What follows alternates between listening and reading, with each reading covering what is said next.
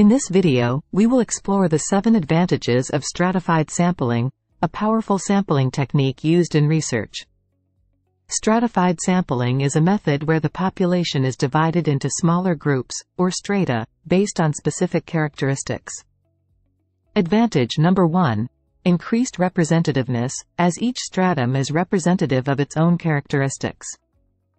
Advantage number 2. Reduced sampling error, leading to more accurate results and better statistical inference.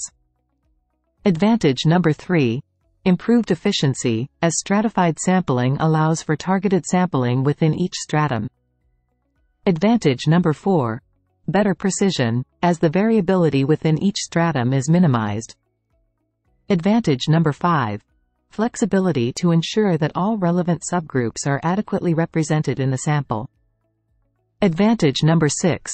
Enables comparisons between different strata, as each stratum can be analyzed independently. Advantage number 7. Useful for rare traits or hard-to-reach populations, as stratified sampling allows for specific targeting. In conclusion, stratified sampling offers numerous benefits, including increased representativeness, reduced sampling error, improved efficiency, and better precision.